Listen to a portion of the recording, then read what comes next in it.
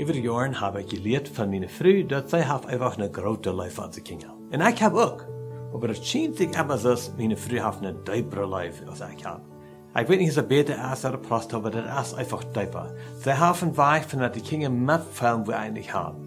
En mij is het interessant voor op net. En ik kijk naar andere mamas en ik zei dat die gaan het vielleicht hetzelfde.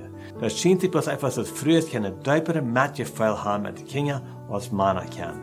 En weet je wat? Ik geloof dat is goed. Dat fehlt, dat is neidig. En ik ben zo dankbaar dafür. Aber weißt du ook dat God heeft ook een groot verlangen naar die en mij. Hij heeft een verlangen dat hij ons kan ook zo kan, dat we onze kinderen doen. In Jesaja Kapitel 49, Vers 15, da sagt Gott, dass keine Frau einfach ihre Kinder vergeten.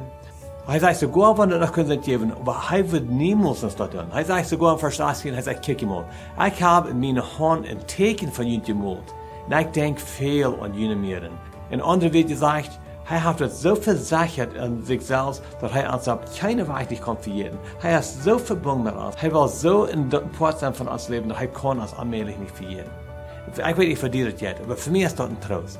Ik reken het veel dat God in alle toestanden, in alle omstandigheden, hij weet van mij het jet en hij heeft een bezorgnis aan mij en ik kan mij immer weer op aan verloren. En ik hoop, du dat ook. Ik ben Henry Redekop voor de Kartoon Nacht.